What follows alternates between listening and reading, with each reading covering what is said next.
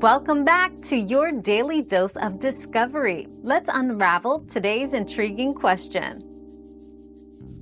Yes, foreign pilots can work in Japan, but they must meet certain requirements.